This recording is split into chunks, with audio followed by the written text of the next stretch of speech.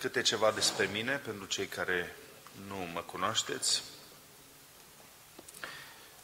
Da? Uh, sunt uh, credincios Domnului din tinerețe. La 17 ani am făcut legământul cu Domnul ca urmare a unei lucrări de trezire spirituală în Oradea, în vremea fratelui Liviu Olah, păstor atunci la Oradea. Am făcut inginerie, dar la 30 de ani, ca Domnul Isus, m-a chemat Domnul în lucrare. Am lăsat ingineria și am intrat păstor în perioada comunistă, 1987. Am început studii teologice, mi-am luat toate uh, gradele acestea care erau necesare. Tocmai atunci, la Oradea, a început Universitatea Emanuel de astăzi și am fost prins în echipa de profesori și am ajuns să studiez, să, să devin profesor. Practic, din 1991 sunt profesor de teologie. Am fost 10 ani profesor la Oradea, 11 ani la Institutul Teologiei Pentecostal din București și de câțiva ani sunt acum la Facultatea de Teologie Baptistă din Universitatea București. Locuiesc în Timișoara, împreună cu a doua mea soție, Tatiana, prima soție, Mia, a murit într-un accident de mașină în anul 2005. La două săptămâni după ce am sărbătorit 25 de ani de căsnicie. Cu ea am avut șase copii. Unul dintre copii, un băiat de 21 de ani, a murit în 2009. M-am recăsătorit după 2 ani de văduvie cu Tatiana. Ne-am stabilit în Timișoara. Acum predau cursuri modulare la nivel de masterat, acum mai mult, dar sunt invitat la toate școlile posibile din uh, România, exceptând una de la Oradea. În rest, peste tot ușa e deschisă și slujesc cu bucurie peste tot.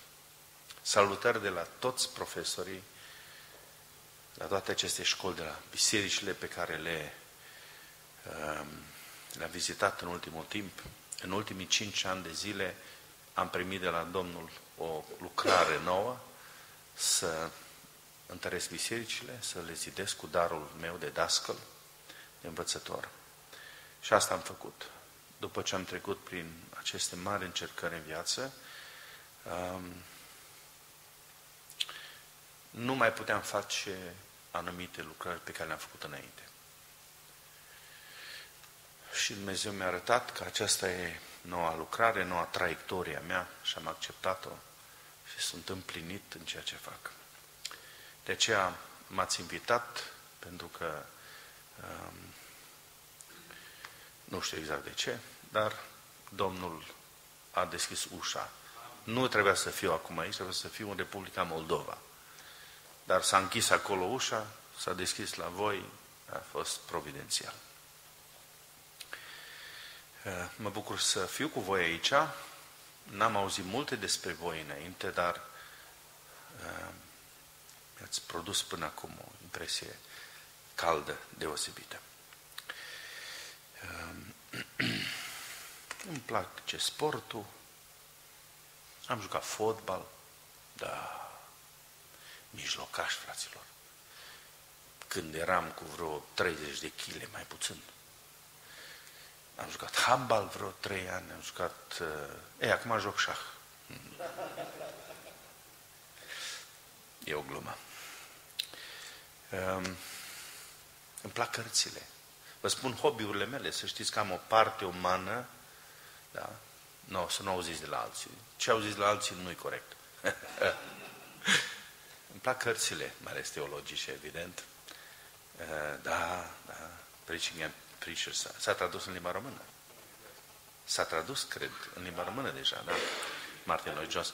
Apropo de Martin Lloyd Jones, a fost primul uh, Acest autor, Martin Lloyd Jones, englez, fost medic al Casei Royale din, uh, din Anglia, a părăsit doctor, uh, medicina pentru pastorală, pentru a deveni predicator la Westminster Chapel. Și a fost unul dintre cei mai mari predicatori ai secolului 20. Minunat uh, predicator. Această carte despre predicare, cred că e tradusă în limba română, puteți verifica. Um, e una dintre cele mai bune. Da. Am citit-o când eram mai tânăr decât tine, Adi. M-a hrănit foarte mult. Această carte și cartea lui John Stott despre predicare. Predic, puterea predicării. Așa e tradusă la editura Logos din Cluj.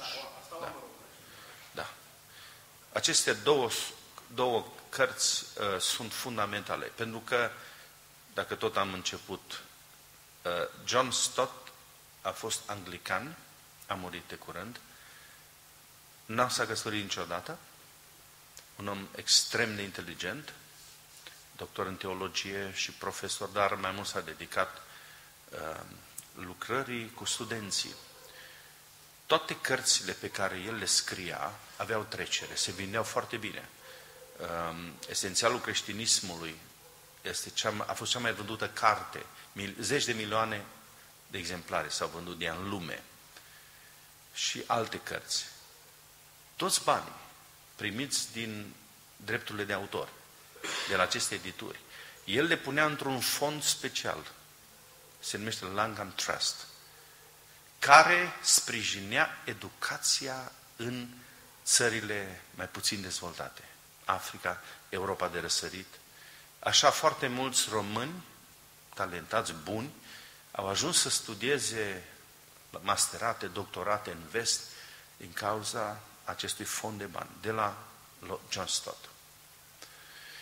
Ehm, am cunoscut personal, am fost chiar la el în casă, în birou, ehm, era pasionat de păsări, apropo. A scris și două cărți de, din perspectivă creștină despre păsări. Da, fraților? Se poate și așa. Însă, ehm, cartea despre predicare merită citită de toți. În paralel, a trăit Lloyd Jones, mai în vârstă decât John Stott. El era, cum spuneam, un, uh, nu era anglican atât cât era metodist, calvinist, o combinație imposibilă doctrinar, dar în el s-a putut. Foarte bun predicator. Um, s-au certat. Cei doi s-au certat, da? S-au certat și ei. Prin anii 60, 66 parcă, a, fost, a avut loc o dispută. Și iată care era disputa. Evanghelicii din Biserica Anglicană nu erau de acord cu ce făcea High Anglican Church, cum se spune, biserica care avea legătură cu statul, care avea liturghie, care nu prea era evanghelică. O mare parte, poate o treime din biserici, din păstorii anglicani, erau evanghelici. Credeau în necesitatea nașterii din nou, în Sfânta Scriptură ca autoritate finală. Și Lloyd Jones, la Congresul Evanghelicilor, a propus ieșirea evanghelicilor din Biserica Angliei. Argumentele lui a fost că nu pot sta într-o biserică care se compromite. Încă de atunci erau semne că Biserica Angliei va fi de acord cu hirotonisirea femeilor. Și iată că așa a fost, plus au început să accepte și homosexualii, preoți și episcop homosexuali. Asta s-a ajuns. De atunci, Lloyd Jones a văzut că direcția bisericii nu era bună. Și a zis, ieșim și formăm o altă denominație, evanghelică. John Stott era de partea cealaltă, era mai tânăr, credea că biserica se poate înnoi din interior. El a spus, dacă noi plecăm din Biserica Angliei, nu mai este speranță pentru ei. Rămânem. S-a supus la vot. Au votat mai mulți cu John Stott. cu ideea lui, nu cu el. Ideea să rămână în biserica anglicană și să încerce să o schimbe din interior. Nu au reușit. Lloyd Jones s-a separat, așa, n-a reușit nici el prea multe, erau prea puțini, să formeze o altă denominație. Și asta a fost disputa. Ce faci când biserica în care tu ești nu merge în direcție bună? Din punct de vedere doctrinar. Nu e vorba de că îți place sau nu de un lider. Doctrinar slăbea. Erau semnele compromisului. Unul a spus, ieșim, celălalt a zis, rămânem. Rămânem ca să o schimbăm. Celălalt a zis, ieșim, nu ne compromitem. Ce ai fi ales? Adi. Cu el. Dar vezi, te-a influențat liderul. Pe mine mă interesează ideea. Nu, dar eu am, eu am citit disputa asta și se pare că de partea lui John Stott era și Geaca. Dacă nu, dacă se minte. Da, așa este. Și el a rămas în biserica anglicană. Istoria dă mai mult dreptate argumentelor lui Lloyd Jones. Trebuia să rupă cu... uh, așa... Da. Bun, ăsta e argumentul tău. Uh, Dane, tu?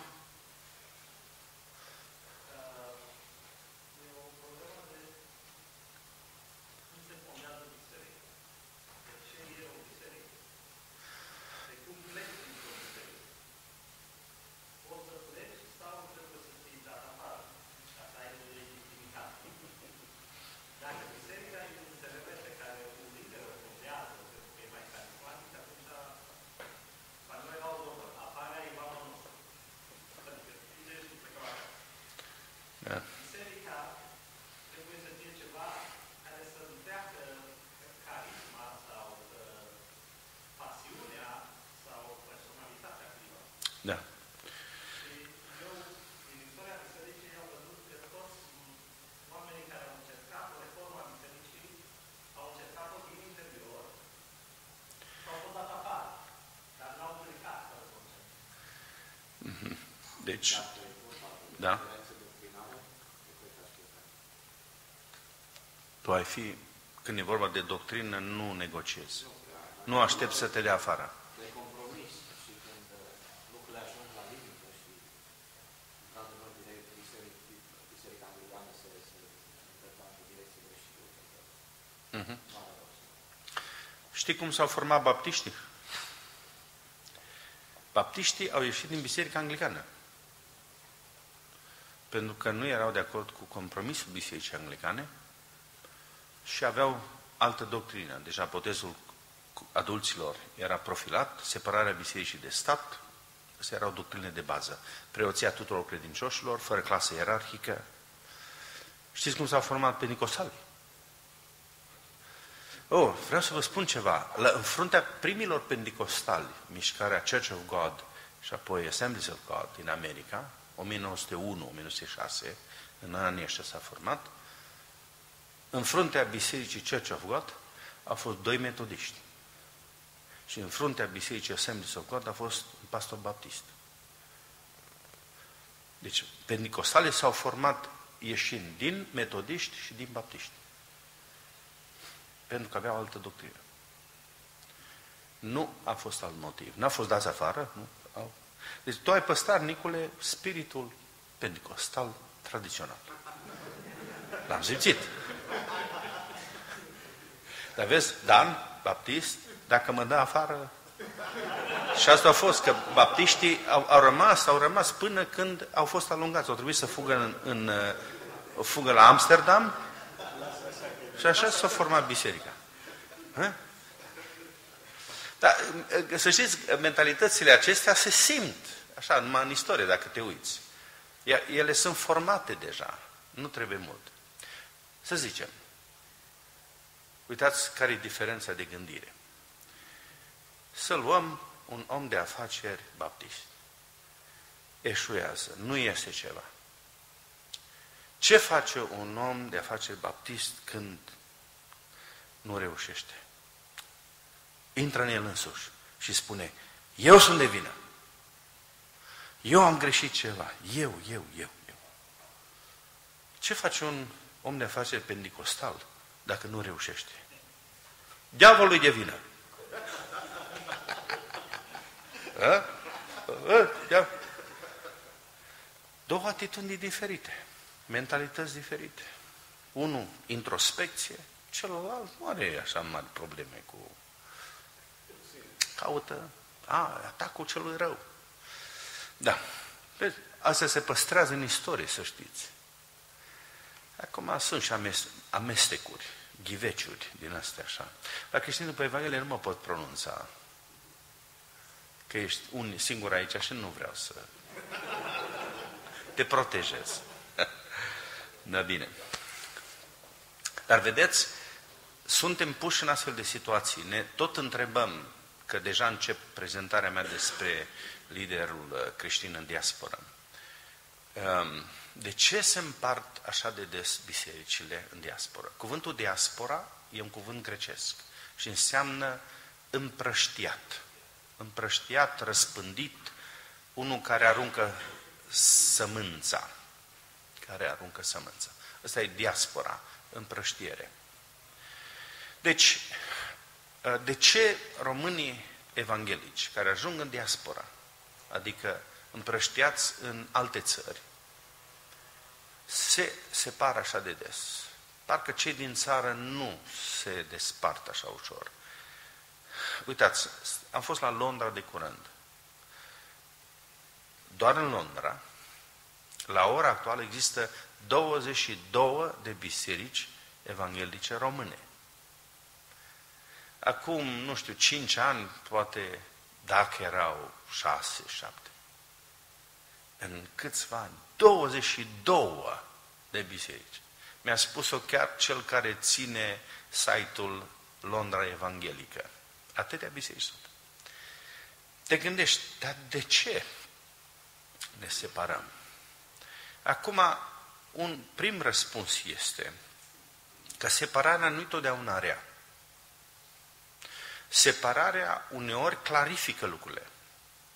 Decât să trăiești în tensiune, nu mă refer la familie aici, noi nu încurajăm divorțul și nici nu încurajăm separarea bisericilor, dar dacă se adună tensiune, amărăciune, se sacrifică relații, E mai bună o separare decât să cazi în lăuntru, să omori Duhul înăuntru. Deci separarea nu este neapărat rea. Cazul lui Pavel și Barnaba s-au despărțit ce doi, faptele apostolilor 15.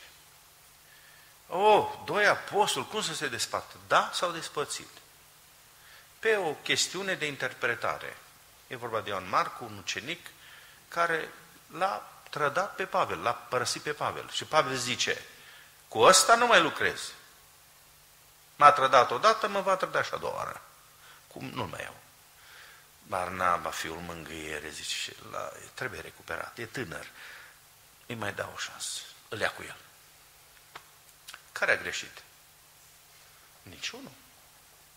Unul a avut niște principii clare, da, așa așa era lucrarea lui, stilul lui, celălalt la fel avea un alt temperament, un alt fel de abordare și s-au despărțit. În concluzie, separarea lor a dus la două mișcări misionare. Unul o luat-o spre est, unul o luat-o spre sud. Da, s-au despărțit, dar au rezultat două lucrări misionare. Mă pot uita și pozitiv la separare celor doi. Dar nouă nu ne plac separările, n-am vrea să ne despărțim și așa suntem puțini. Dar să știți că de la început protestanții evanghelici s-au separat.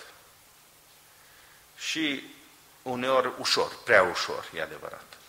Dar motivele sunt diverse, vă, vi le pot da, e un studiu separat despre motivele separării, când să te separi și când să nu te separi.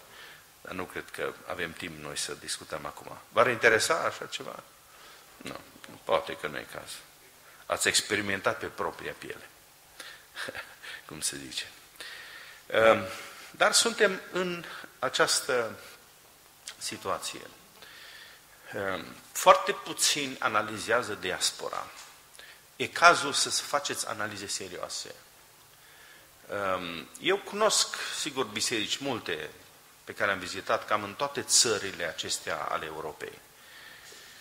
Însă nu am găsit studii făcute, articole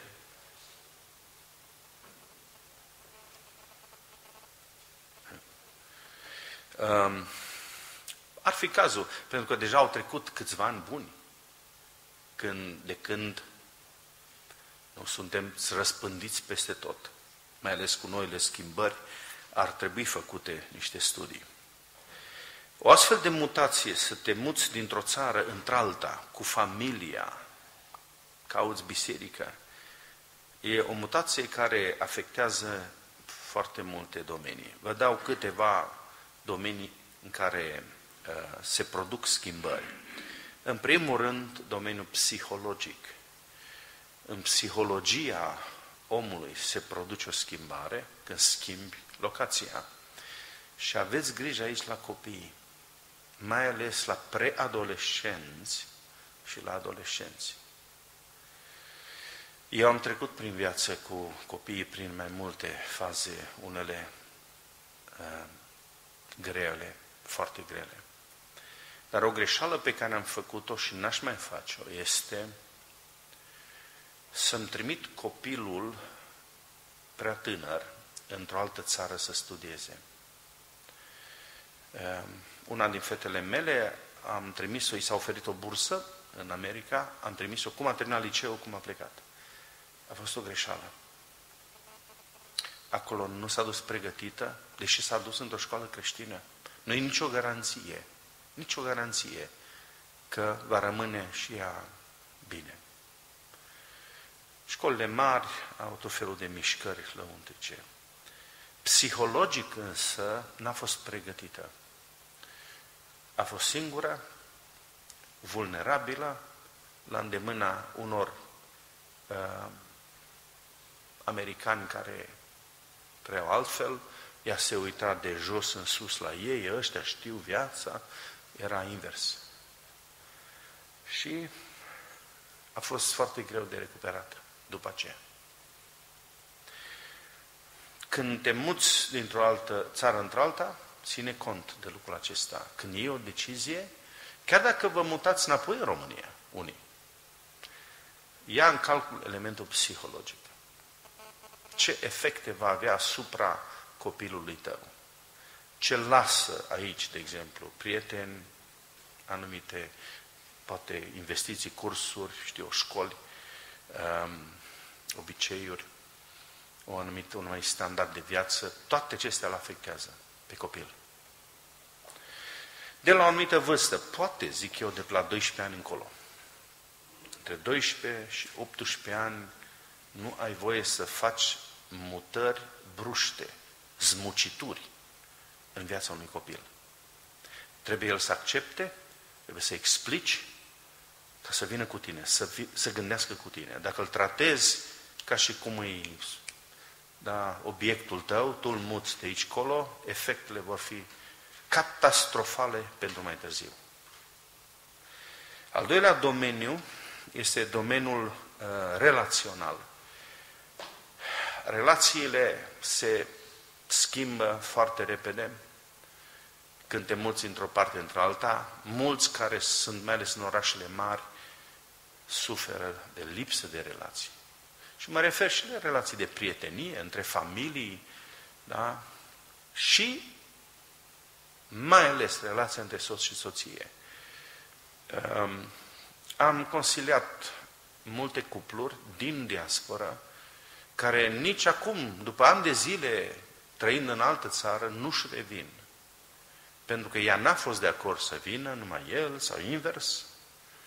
Și asta a afectat relația dintre cei doi. Am asistat de curând la o fază așa, la masă, cu o familie. 20 ceva de ani sunt plecați în altă țară. E vorba de centrul Europei. Și uh, am crezut la prima fază că glume așa între ei. erau la 50 de ani.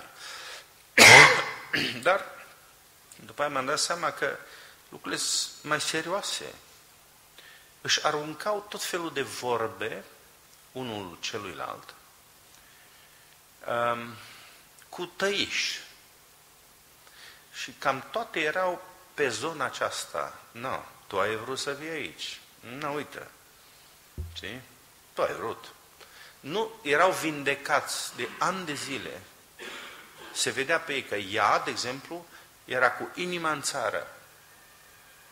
Da? El era da, cu inima în țara respectivă. Doar s-au integrat, vorbeau limba țării respective. Aveau copii mari, făceau școală. Dar relația dintre cei doi nu era bună, nu era vindecată. Deci domeniul ăsta e foarte serios. Adică după 20 de ani într-o țară, tu să nu te poți înțelege cu soția, mereu să ai frustrarea aceea. Tu n-ai vrut. Deci când faci o mutare de acest gen, asigură-te că partenerul tău de viață e de acord. Dacă nu, nu sta. Vă dau cazul meu. Am plecat în Statele Unite, înainte de, eram văduv, atunci, înainte de a cunoaște pe Tatiana, am hotărât plecarea, m-am dus, în sfârșit m-am întors, m-am căsătorit cu ea, a venit și ea cu mine și nu i s-a recunoscut diploma din țară, stătea acasă. Am stat un an de zile așa. Mi-am văzut soția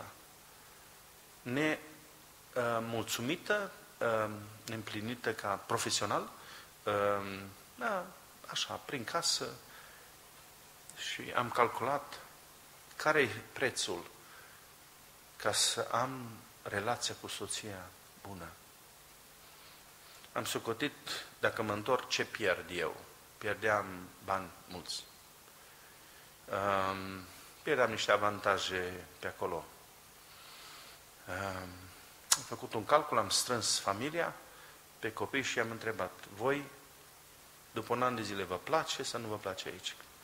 Și majoritatea au spus, nu, nu ne-am putut integra, nu, nu, nu țara noastră, nu ne place, soția la fel, nici eu nu eram fericit acolo. Și doar doi copii au rămas în Statele Unite, restul nu. Ne-am întors toți. Am pierdut financiar, dar am câștigat relațional. Și a fost o hotărâre înțeleaptă. Apropo de aceasta. Uneori vei putea pierde. Chiar dacă ai făcut o greșeală cândva, ca bărbat, ca și cap de familie, nu, nu ai voie să continui dacă sacrifici relații.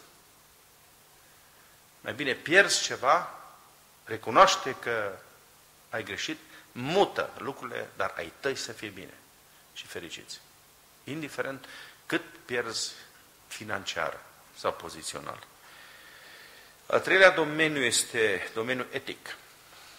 Ehm, etica, adică comportamentul, morala, etic și moral. Mulți suferă, se duc, vin dintr-un mediu, se duc într-altul. Unii au învățat să respecte etica țării, comportamentul de acolo și pe voi v-am văzut.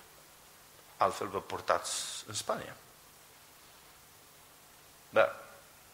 Când te duci pe țară, parcă e de redevii român. Cu tot felul de chestii. Mă urc în avion, nu știu dacă de aici sau din, din Madrid. Prima dată când am călătorit. Da. Și urc în avion Wizz Air. Ajung mai așa, în timp mă pun jos, se face coada aia, știi, românii sunt ping, știi, să ajungă, dar, dar cum? Da? Și urcă câțiva, se duc în spatele avionului, alții după ei, așa. Unul, cu soția lui, intră și îl vede pe un prieten și vorbește tare că, bă, bă, bă, soția, mai, mai încet, mai încet, suntem în avion. La care el îi spune ei, dar nu suntem în România. El când a pășit în avionul de România, el e în România, el face ce vrea, altfel strigă. La spaniol n-ar fi strigat, nu? Că e etica. Și altfel muncesc, corect. Da. Vedeți? Se schimbă tot. Se schimbă tot. Ei, aici avem de discutat, o să abordăm puțin mai încolo niște lucruri. Dar este o schimbare majoră. Uneori în bine. Dar nu neapărat. Unii când ajung în diaspora își permit orice. Nu mai au autoritate, nu, nu sunt cunoscuți. Îl auzam pe unul odată pe stradă, nu știa că îl înțeleg în, în altă parte. Vorbea tare. Mă urmărește Interpolul. Era cu nevastă, nevasta mai în față. Fugea de el. El striga, vorbea tare, crezând că nu-l aude nimeni, nu-l înțelege nimeni.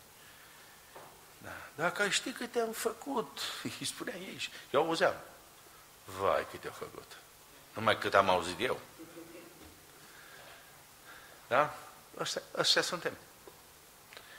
Ei, uite, sunteți o bisericuță aici, mai încolo una alta, dar vă asigur că sunt foarte mulți români evanghelici pierduți în Barcelona. Nu caută nicio biserică, nu mai vor să audă de Dumnezeu, de biserică, de autoritate, familie. Știți foarte bine și voi multe drame de acest gen. Mutația aceasta îți dă impresia că poți face orice, ești liber acum. Dar nu e așa. Efectul însă e puternic. Și ultimul domeniu e domeniul spiritual, evident, care mă preocupă cel mai mult. Mutația aceasta aduce schimbări în zona spiritualului. Um, și a, apropo de motive de separare a bisericilor, în marea majoritate a cazurilor, bisericile în diaspora se separă datorită liderilor, conducătorilor, slujitorilor. Și motivele sunt simple. E același. Orgoliul. Orgoliul. Um, a fost cineva în țară, bă, în biserica lui, a, el străgea colecta, de exemplu. Da? Aici nu face nimic. Bă, el a fost, atâți ani a fost în comitet, aici nu e ales. Pentru că e alt context, e altă țară, e de peste tot, nimeni nu-l cunoaște și vrea să se afirme și vrea să se impună și împinge și forțează, poartă mască, că nu prea îl știu unii și alții. Prea mulți am văzut din ăștia.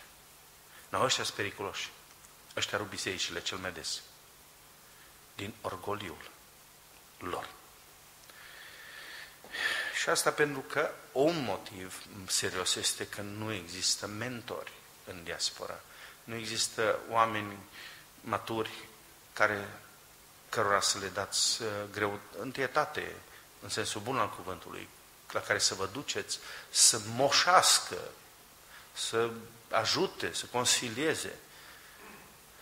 Uitați, în Spania, bisericile baptiste au un singur păstor. Cel de la Madrid, nu, celălalt am înțeles că nu mai e păstor. Mai era unul, care nu mai a fost ales. Câte bisericuțe sunt? Un singur păstor.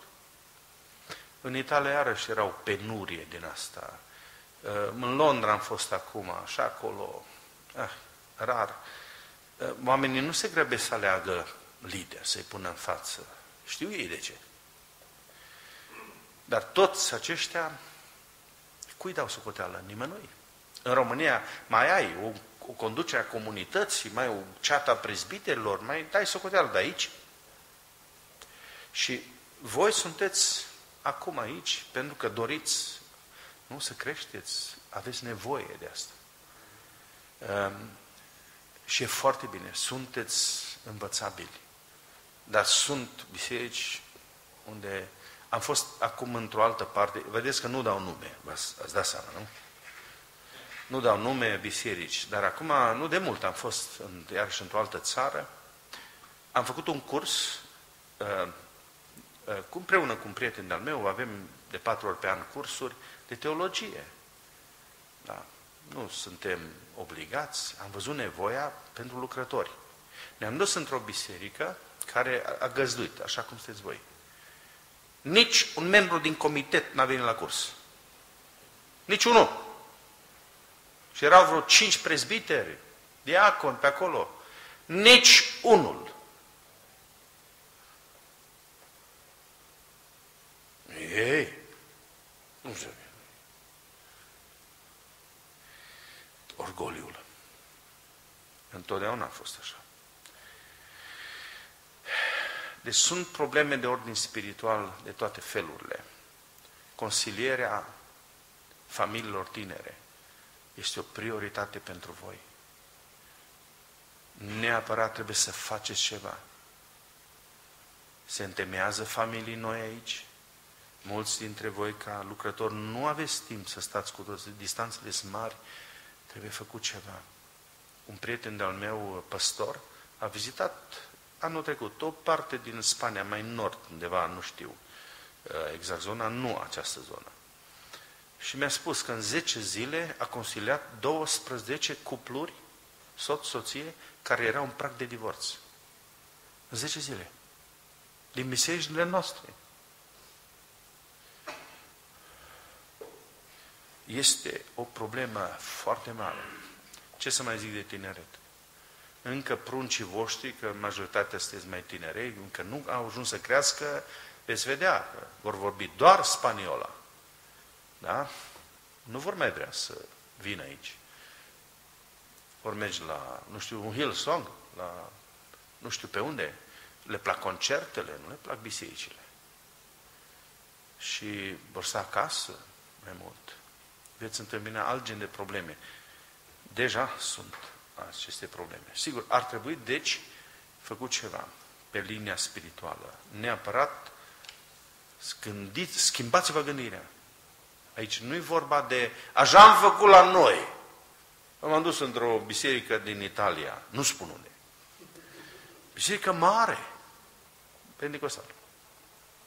Nu trebuia să spun. Dar am spus acum. Că numai bisericile pentecostale sunt mari, deci puteți deduce. Biserică mare, nu știu câte sute. Îmi spun câțiva câteva familii acolo aveau un slujitor. Abia venise. Și le-a anunțat pe toți. Să ne întoarcem la părinții noștri. El vrea să vadă, anunță biserica din Roma, da? Roma. Că vrea să vadă biserica din Roma cum a fost biserica bunicului lui din satul nu știu care. Și ăștia erau terorizați, familiile astea, erau de mulți ani pe acolo. Și uite cine a venit. Ăsta vrea să ne întoarcă la bunul, la mentalitatea lui. Și așa au fost. Aveau frați, diaconi, și nu numai, care stăteau la intrarea bisericii și măsurau fusta la fete și la femei. Și dacă ei considerau că fusta nu-i suficient de lungă, nu le dădea voie să intre plus batic, plus uh, podoabe, plus... Și așa n-au intrat necreștine. Ăștia nu trăiau tot. E, mentalitate. În Roma, fraților, vă dau și alte exemple în alte capitale ale lumii. Aici. Um, Cred că e o confuzie în cap la acești oameni. Nu prea citesc vremurile. Și iată ce v-am pregătit. O să mă judecați. A doua oară probabil că nu o să mai fiu invitat, dar știu eu. De, să vedem. Așteptați că încă de-abia am început, frate. Frate Iosif, deja numai am pregătit aluatul. Și acum îl pac, pac, să vezi și iese la sfârșit, frate. Stai, am pun și niște semințe în el. Să ne ajute Domnul. Am două părți în studiul meu. Prima parte, problemele diasporei și a doua parte, soluțiile. Ce care sunt problemele diasporei? Patru probleme am identificat. Sunt mai multe. Voi continuați lista. Eu vă spun că sunt patru probleme pe care le-am văzut. Prima problemă este identitatea. Identitatea evanghelic, creștinului evanghelic în diaspora. Ce înseamnă aceasta? Este următorul lucru, că foarte mulți dintre voi nu au identitate în altă țară, nu se regăsesc, adică nu știu cum să se definească, nu știu cine sunt. Uh, este un om nou într-o altă țară, are carte de identitate nouă, are numere la mașini noi, cetățenie, mulți au ales cetățenia în altă țară. Dar nu partea socială mă interesează, ci cea spirituală. Unii au dorit să-și piardă identitatea. Da?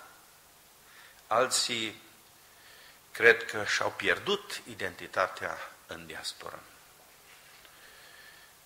Zic, foarte mulți dintre acești evanghelici sunt fără loc, fără identitate, fără credință, fără biserică. Trăiesc în obscuritate. Um, și la ce mă refer, iată, și încă o dată la problema tinerilor, copiilor voștri. Um, am văzut că mulți părinți luptă pentru copiilor ca să le păstreze identitatea din țară. Tu ești pocăit, tu ești evanghelit, tu ești din familia aia, a lui cu tare și a lui cu tare, bunul tău, buna ta, da? El e în altă țară, vorbește altă limbă, are colegi care în fiecare zi se droghează, fumează marihuana, ă, părinții lor ori sunt homosexuali, ori trăiesc în concubinaj și vine și te aude pe tine. Tu nu ești ca ei. Cum îl convingi să nu fie ca ceilalți, să-și păstreze o identitate de evanghelic? Ei, asta nu e ușor. Cei mai mulți din părinții care au venit în Europa au zis că au venit pentru copii și pentru bunăstarea copiilor, pentru copiilor. Dar când ajung aici, nu știu ce să facă cu copiii. Dacă ai venit pentru copii, atunci ai grijă de copii. Ei, asta înseamnă să citești vremurile, să vezi copilul tău în ce lume trăiește zi de zi.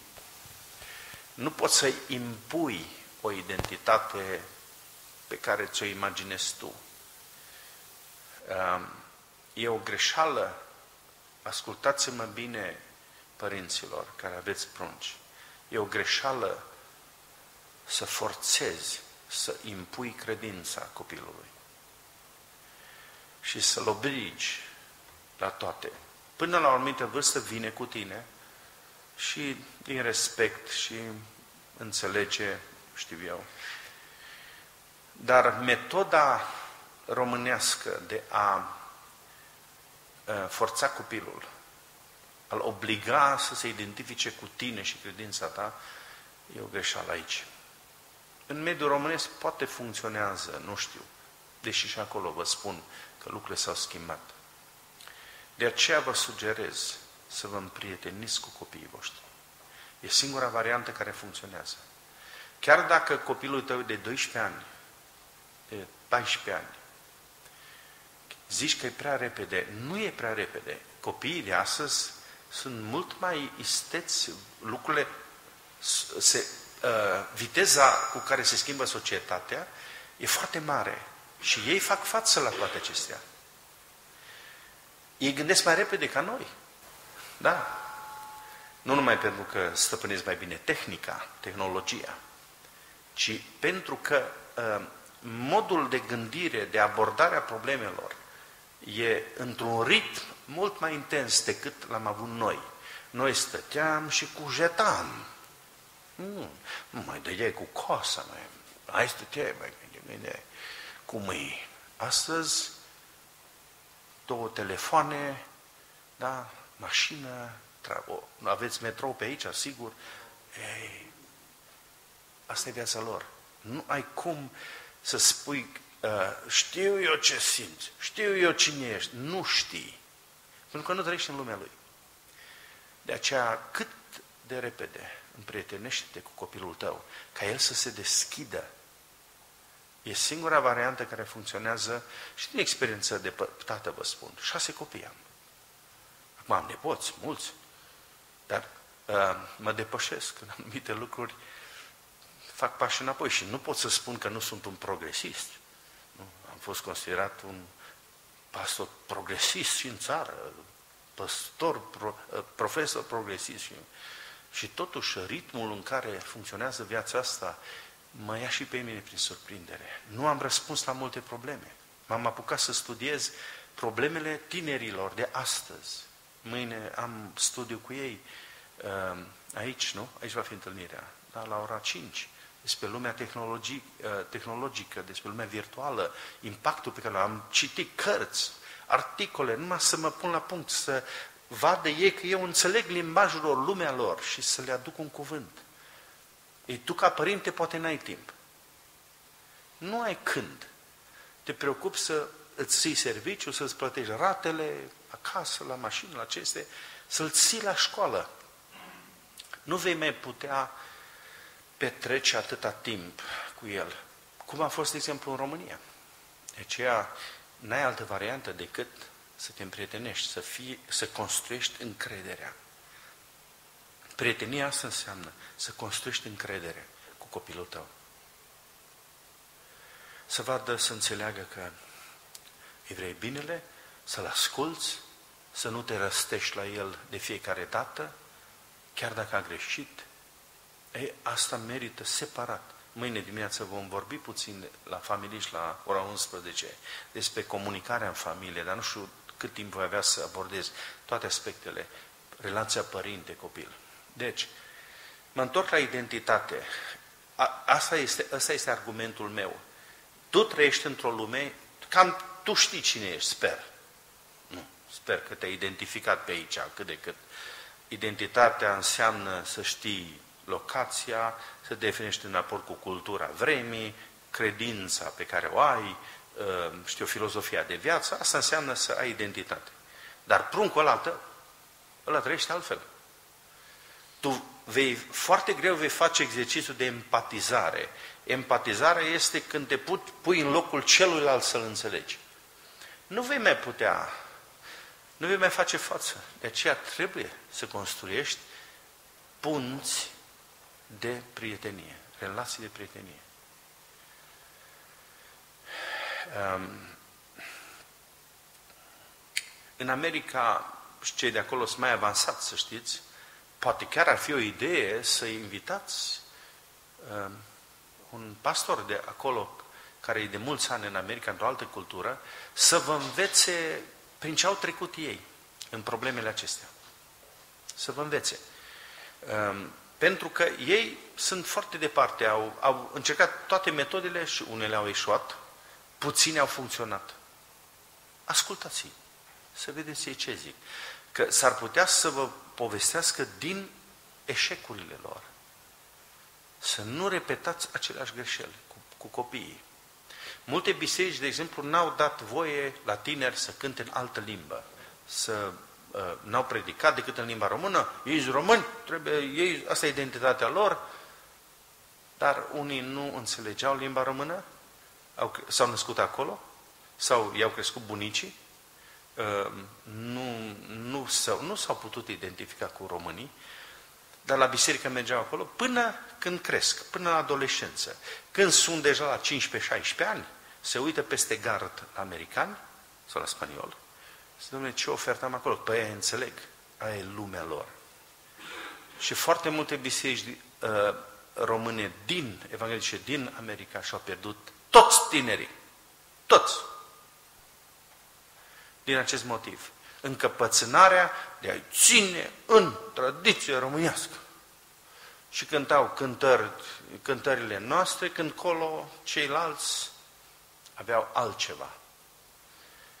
Și nu s-au putut identifica cu românii și a pierdut.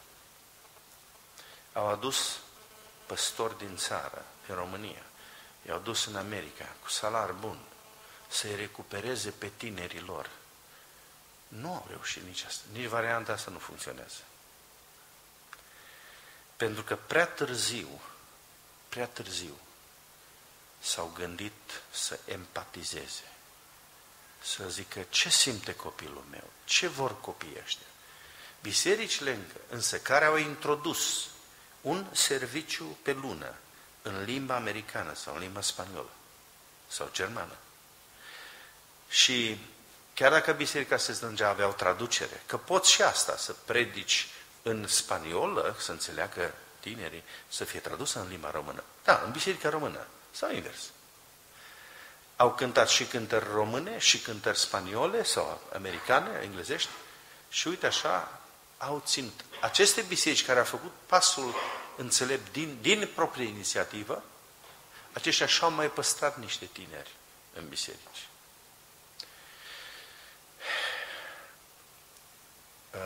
Identitatea într-o altă țară e foarte greu de menținut. Aveți o problemă aici. Problema aceasta va crește. Eu am datoria doar să vă spun. E pe prim, prima pe lista mea. Pentru că dacă nu vă asigurați tineretul, copiii, de acum înțelept, în 10 ani îi veți pierde. Și încă ceva, n-au unde să se ducă. La americani au. Acolo e plin de biserici evanghelice. Peste drum, la colț, e altă biserică, mai mare, mai frumos, cântă nu știu cum, au nu știu ce predicator, fane. Oh, au unde să se ducă. Aici în Spania n-au unde. Nu-ți va spune tata într-o zi, tata, știi, nu mă duc la voi, mă duc la biserică, dar mă duc la spaniol acolo, că n-au unde. Am înțeles că evanghelicii sunt foarte slabe aici. Oferta e foarte slabă. Și unde credeți că se vor duce într-o zi când nu vor mai vrea să vină? Că nu mai înțeleg. Nu înțeleg limba română, nu înțeleg manifestarea, li se pare că ei sunteți depășiți. Unde se vor duce? Nicăieri. În lume.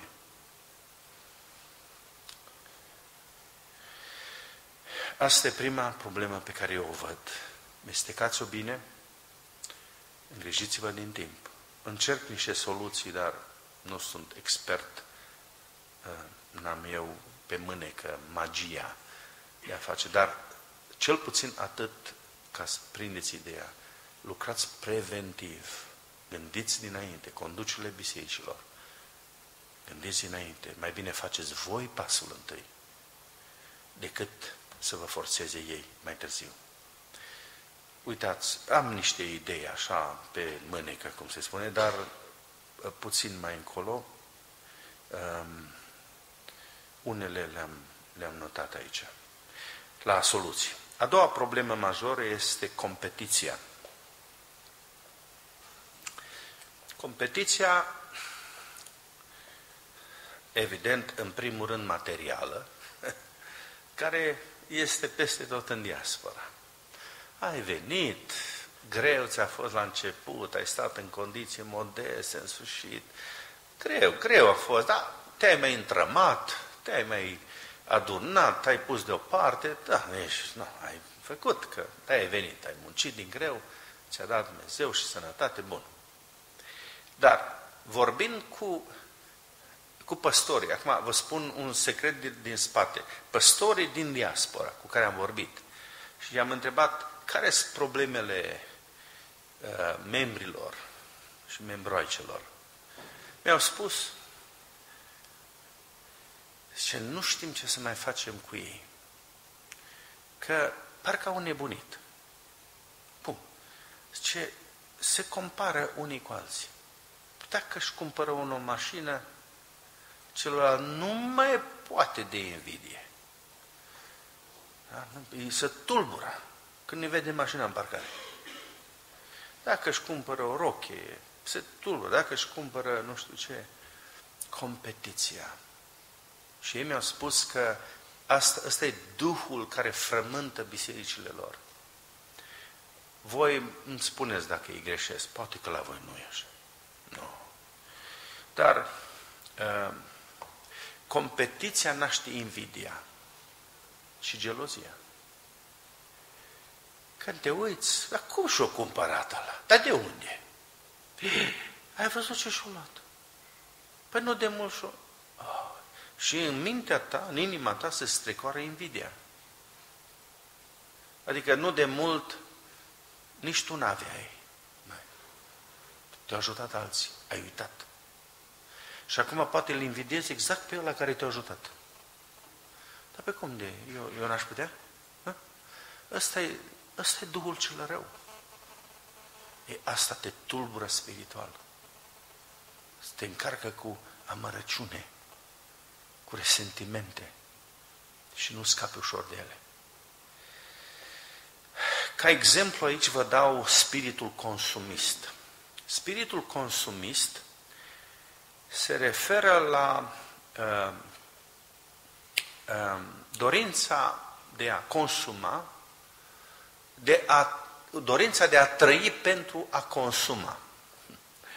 Uh, spiritul consumist înseamnă uh, plăcerea de a petrece, de a uh, avea satisfacția uh, că ai, tu ai și altul nu are.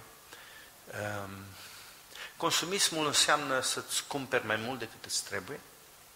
Consumismul înseamnă, consumismul înseamnă să nu mai vezi că celălalt nu are. Consumismul te duce la un spirit materialist, în care uh, ai uitat de dărnicie? Da? Interesant. În toate bisericile aud același lucru și în România. Cei mai darnici din biserici sunt cei care au mai puțin. Sau modest. Nu cei care au foarte mult. Nu, nu e o regulă. Sunt oameni care dăruiesc, au din partea Domnului și știu ce să facă. Dar cam Asta e regula, nu știu de ce. Spiritul consumist te bagă într-o competiție, iubești lucrurile, te atașezi de materie, de lucruri. Le iubești. Doamne, fer să ți se întâmple ceva cu lucrurile tale. Dar înainte nu era așa, nu?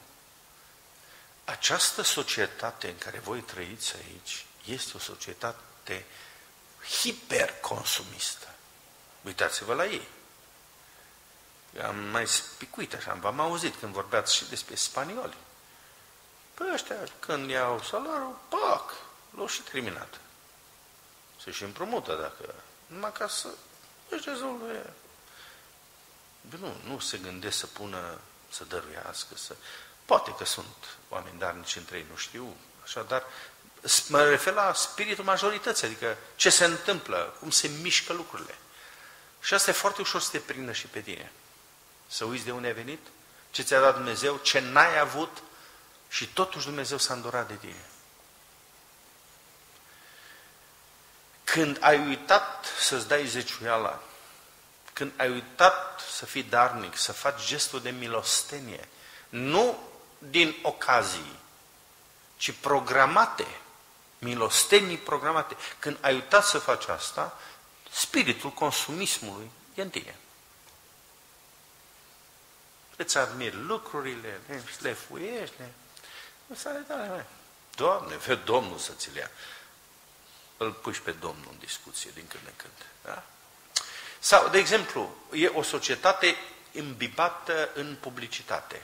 Din asta trăiește. Publicitatea. Tu, tu dacă ești corect, nu, cu tine, vei sesiza că și tu ești o victimă. Pentru că în spotul publicitar, de câteva secunde, ți se dau câteva imagini foarte bine gândite. Sunt specialiști în, în, în spatele unui program de acest gen, nu? Psihologi, sociologi, poate teologi, care gândesc ce să-ți dea ție, cum să te convingă ca tu să cumperi produsul respectiv. Când ești condus de publicitate, de uh, aceste advertising, da, publicitate, divertisment, eh, s-ar putea să nu mai scapi. Asta te face să intri în competiție. Și să nu vezi te uiți la celălalt prin ochii lucrurilor. Nu mai vezi ca fratele tău, îl vezi că a, el are și tu n-ai. Auzi. Și nu-ți dai seama. Uite, ce discutați când vă întâlniți între voi?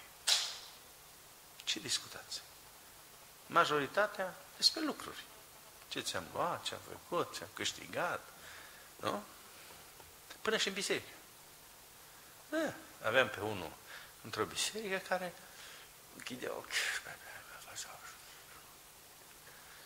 Și am întrebat pe niște frați, zic, ce, se roagă? O, nu, zice frate, ăsta se face calcule. Pe cum? Zice, din asta care schimbă valuta și...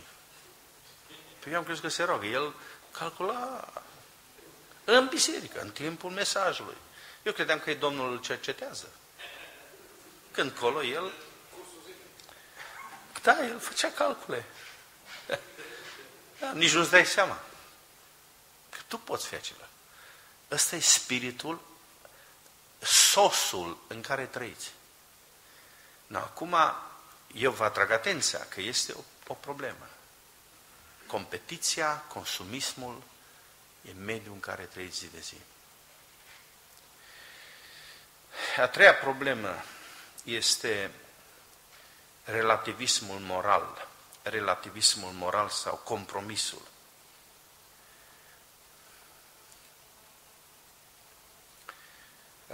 În diaspora tot aud că românii se compromit mai ușor.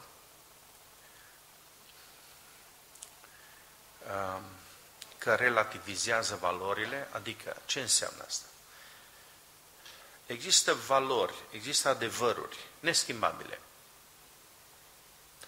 Albul e alb, negru e negru, eh? minciuna e minciună, adevărul e adevăr, întunericul e...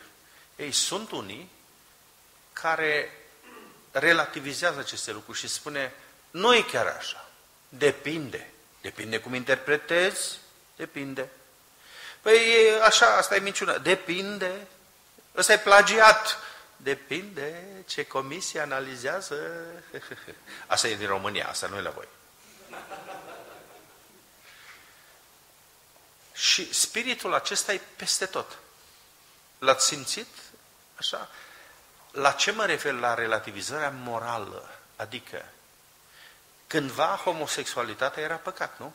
Păcat, clar. Biblia spune, astăzi mai îndrăznește cineva să spună că e păcat? Și predicatorii au rezerve, nu? E renumit cazul predicatorului pentecostal suedez, care de la învonul bisericii a spus că homosexualitatea, cum spune Biblia, e păcat. L-au închis, l-au băgat în închisare. Suedezii. Pentru ofensă. Da? Asta vine peste tot. E. Când ieri, Belgia a validat eutanasierea copiilor, deci omorârea copiilor cu handicap. Vă dați seama? Nu știu dacă se mai pune, nu se mai pune vârstă.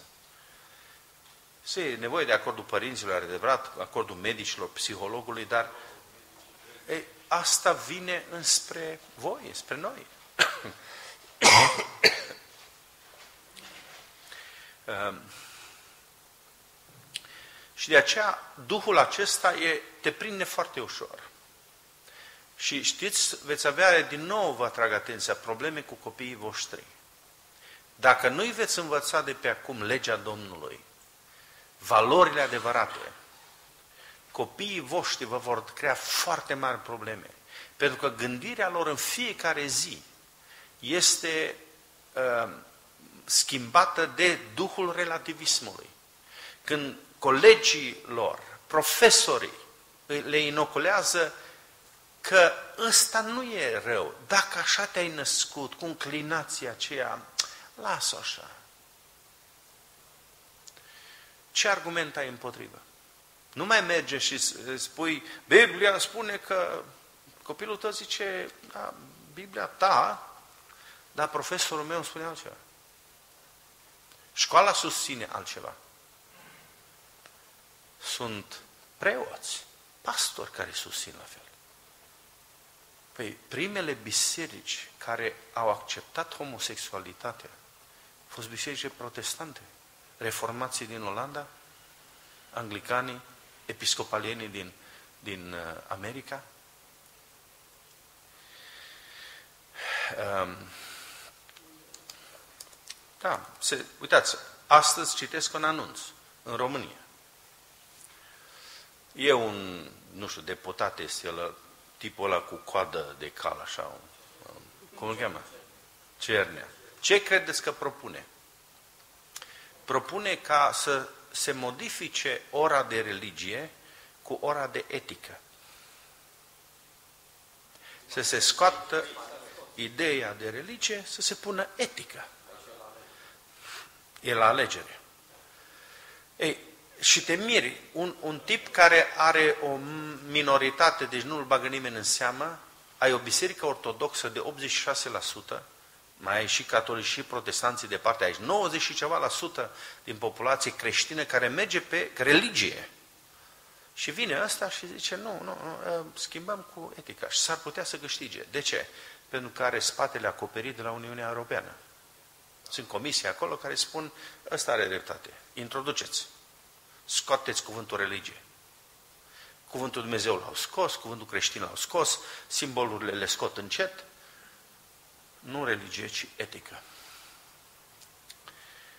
În lumea asta trăim. Și te compromiți foarte ușor într-o lume relativistă. Pentru că nu mai ai valori consolidate, solide în care crezi.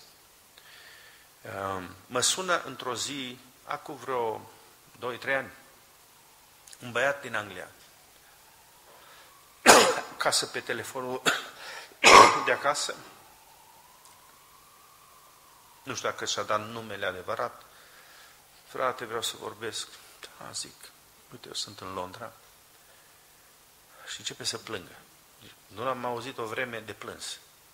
L-am lăsat să te liniștească. Am început să povestească. Frate, zice, sunt pierdut. Eu sunt din familie de credincioși.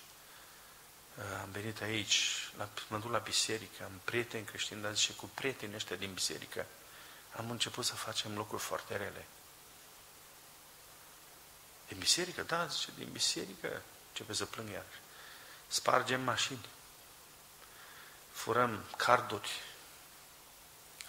Frate, zice, eu nu mai pot. Ori mă omor, nu știu ce să fac, frate, ajutați-mă la telefon. Din familie bună, vorbea frumos, se vedea că are ceva școală, era pierdut în cei 14 milioane în Londra împreună cu alți tineri, dar mergeau la biserică. Și spunea că nu mai suportă starea de duplicitate. El se omoară, că zic, auzi, nu, nu, zic, nu, nu te omor și nu. Bine, faptul că m-ai sunat, zic, e un lucru foarte bun. Înseamnă că tu îți vezi starea, înseamnă că bugetul tău încă lucrează. L-am încurajat, am spus pozitiv cât am putut. Și ce să fac, frate, ce să fac, ce să fac? Nu mai putea, nu mai putea. Păi uite, zic, uh, și stătea ilegal în vremea aceea, nu știu, pai. Uite, zic, dacă tu ți-ai dat seama de problemă și ai frică de Dumnezeu, cât o mai rămas? Întoarce-te acasă. Lasă-i. Trebuie să pleci din mijlocul celor care te-au tras la păcat. Ieși, tu te acasă la ei tăi, zic părinții, da, zice, am părinți, tu te și stai acolo vreme. Și pocăiește-te și liniștește-te. Și... Așa am să fac, frate, așa am să... Nu știu dacă așa a făcut.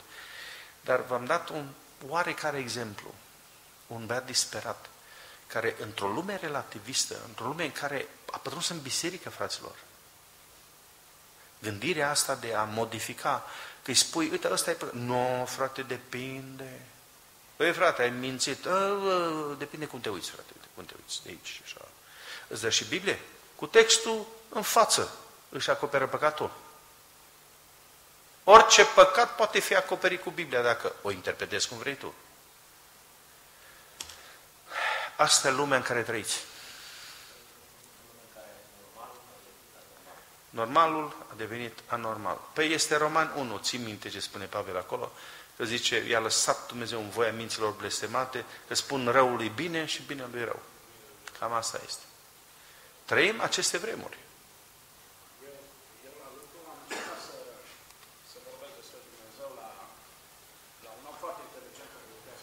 Da. Și n-am reușit să-l aduc la o concluzie logică, fără să spun de Dumnezeu, că în principiu e mult mai bine să spui adevărul decât să minți.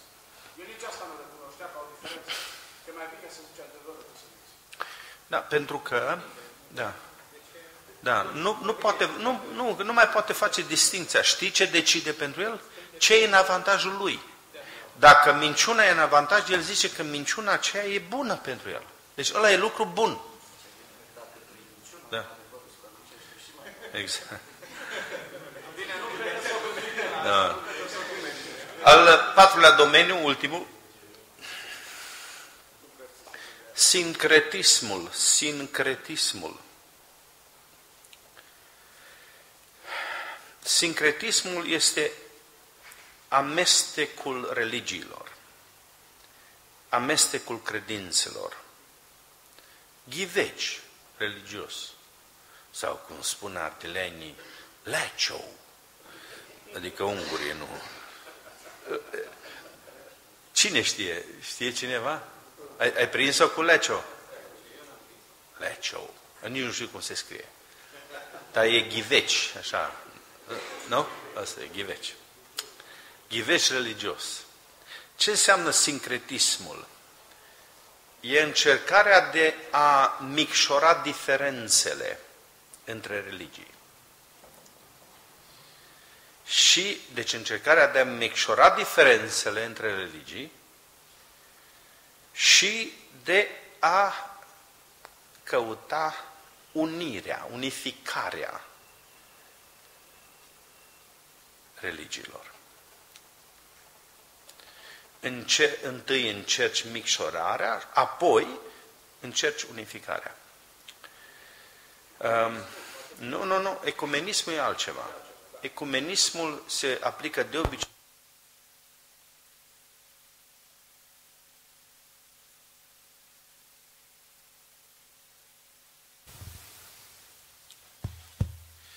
Uh, Ecumenismul eu, vine la un cuvânt grecesc, o ecumene, care înseamnă pământ locuit. Și ideea este ca toți creștinii să ne strângem într-un singur pământ, să locuim pe un singur pământ. Și de aceea s-a înființat organizația numită Consiliul Mondial al Bisericilor, după al doilea război mondial. Încercări de unificare au fost și înainte, chiar la începutul secolului 20, dar uh, ecumenismul de obicei se aplică la creștinism. Catolicii, ortodoxi și protestanții să fie uniți.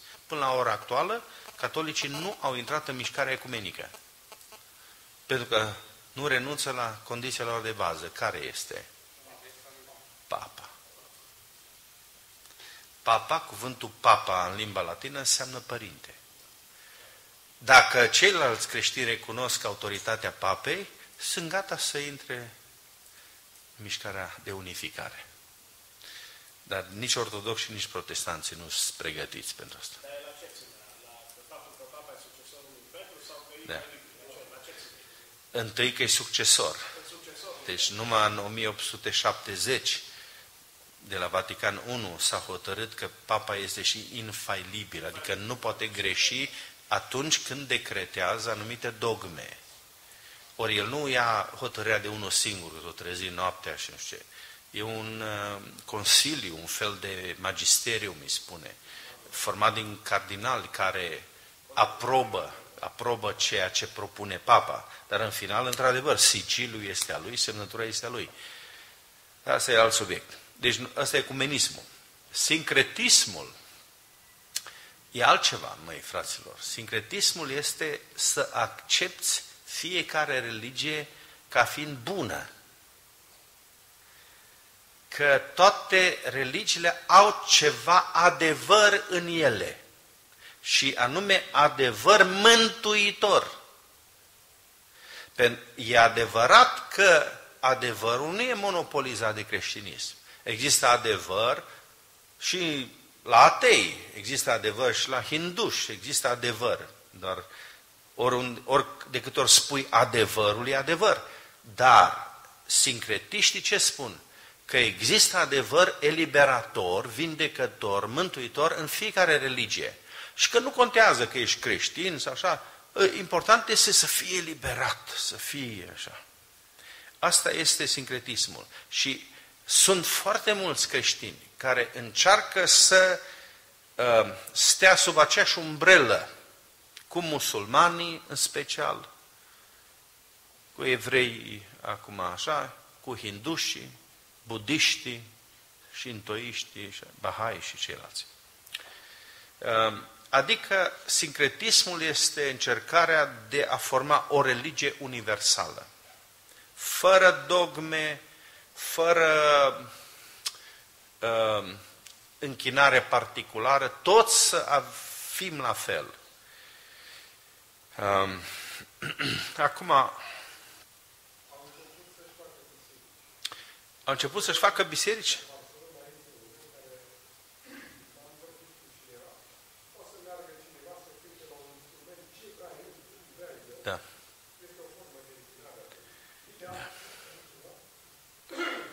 Da.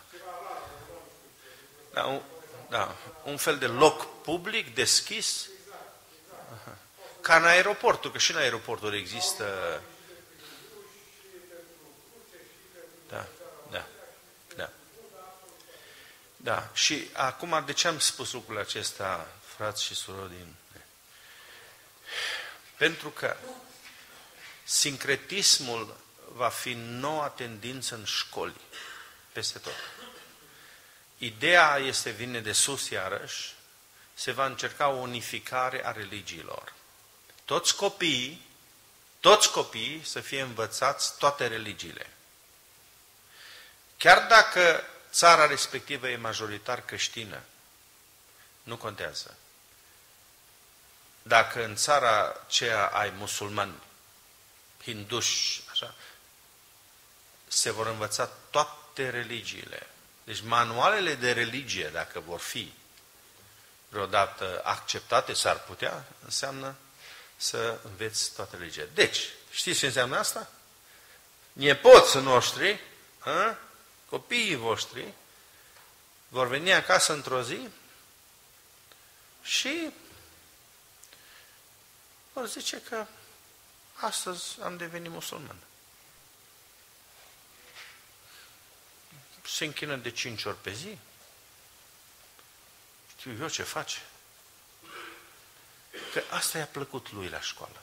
A, așa de frumos a prezentat doamna că îi place mai mult religia asta decât creștinismul. Și tu va trebui să răspunzi de ce nu e bine. Noi, fraților, nu suntem pregătiți în bisericile noastre să răspundem la problemele sincretismului. Noi nu știm, habar n-avem ce cred musulmanii, habar n-avem ce cred hindușii. Noi credem că știm numai ce... Nu, asta credem asta. Dar copiii noștri, nepoții noștri nu vor mai învăța asta. Nu știu ce e de făcut, adică trebuie făcut ceva. A trebui în școlile duminicale ale noastre să-i pregătim pe copiii noștri ce să răspundă dacă musulmanul îi spune altceva. Și încă ceva vreau să vă spun cu sincretismul ăsta. Se încurajează căsătoriile mixte între religii. N-ați avut cazuri? Nu știți? Creștini cu musulman? E plină Germania de ele. Că acolo sunt mulți. S-a ajuns și în Anglia, două orașe din Anglia au mai mulți locuitori musulmani decât creștini. Păi sunt cartiere întregi, îmi spuneau cei din Nuremberg și în care nu intră turcii, nu intră nici poliția lor. Au poliție turcă. Da. Și școlile la fel. Și să știți că nu sunt deloc pasivi, sunt foarte agresivi în misionare, în a-și duce credința mai departe. Noi creștinii, nici, majoritatea în Europa habar n-au ce misiune evangelizarea. Dar ăștia știu. Ei cu, asta, cu scopul ăsta au venit în Europa. Cu mai mulți ani în urmă, eu țin minte de la un uh, egiptean, un frate creștin egiptean. A venit în țară și la o conferință ne-a spus, uh, vă spun aproximativ anul, anul 2000, așa, deci acum 14-15 ani. Și ne-a spus așa, fraților, el era evanghelic, uh, nu mai știu ce era, evanghelic din Egipt, din Cairo. Și ne-a spus, fraților, zice, acolo, în lumea musulmană, se încurajează de către conducătorii lor religioși să cucerească Europa, dar nu cu forța armelor, ci prin căsătorii. Și bărbații sunt încurajați să vină în Europa să se căsătorească cu fete creștine. Și asta au făcut. E, e un program. E un program. Nu e nimic întâmplător. Asta este lumea în care trăim, fraților. Deci, patru probleme văd mari în diaspora. Problema identității, cine ești aici? Cine e copilul tău? Ce îi spui? Cine e el aici? Din cauza telefonelor păzie? Cum? Telefoanele aproape de boxe le sugerați să, să fie închise? Da, poate. Ehm, a doua problemă majoră, competiția, consumismul, da? competiția materială, consumismul.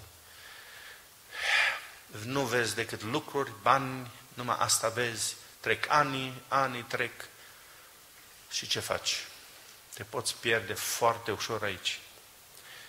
Ehm, a treia problemă este relativismul moral sau compromisul, compromisul moral în care nu mai ai crezi în valorile vechi, le reinterpretezi. Și a patra problemă pe plan religios, sincretismul, acest amestec de religii. Acestea sunt cele pe care le, uh, eu le-am văzut, sunt și altele. Scopul meu este să vă fac conștiență. Voi sunteți cei care răspundeți în biserică de diverse lucrări. Unii cu copiii, tinerii, misiunea. Acum trec la partea a doua, la soluții. Sau facem o scurtă pauză? Vreți? O pauză scurtă, nu mai mult, dar, dar după, după ce ne întoarcem, cam o jumătate de oră mai durează. E bine așa? S-a pregătit uh, ceva ecumenic. Consumism. Poftiți, poftiți la consumism. A, e gratis? Oh, atunci primim, primim. 10 minute, maxim 15 minute și ne întoarcem.